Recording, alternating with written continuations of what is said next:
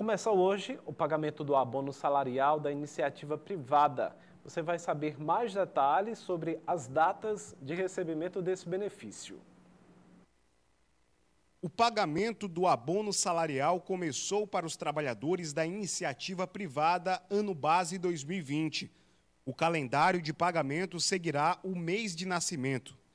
Nesta terça-feira recebem o pagamento os nascidos em janeiro.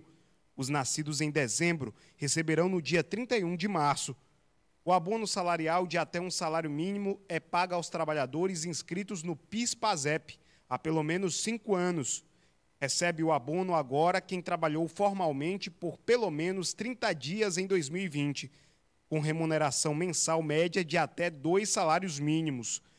Para servidores públicos, militares e empregados de estatais inscritos no PASEP, o pagamento tem início a partir do dia 15 de fevereiro e vai até 4 de março, pelo Banco do Brasil.